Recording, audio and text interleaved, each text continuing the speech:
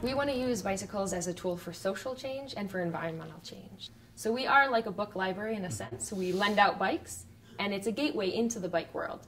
So we work with the leaders that emerge through the bike library to find out what are their specific community needs. What's the Karen community's needs? What's the Latina community's needs? What are their issues and concerns when it comes to bicycling?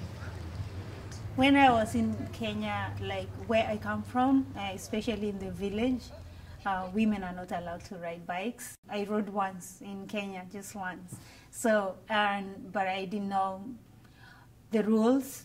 But since I joined the class and uh, we could go in a group with our teachers, I gained confidence and uh, got used to it and I became brave.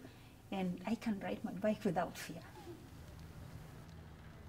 The change we want to see is that biking is something that's accessible and, and relevant to all of our diverse Twin Cities communities, not just you know what it's been traditionally in the past, but every new immigrant group that comes to the Twin Cities that they feel, hey, I can ride a bike. This is great. I can enjoy the benefits, the health benefits, the environmental benefits, access to jobs and education.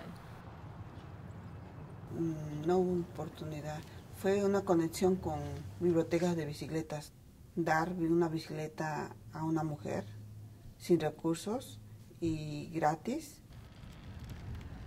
Más que nada este, lo usan ahora con, como transporte, como para su salud mental, para eh, cambiar su rutina diaria. So it's really important that, you know, participants in the bike library and other community members are sharing what's relevant to their community and what needs to change when it comes to cycling laws, cycling infrastructure, and cycling investments. So it's that personal change, and then it's the cultural and societal change.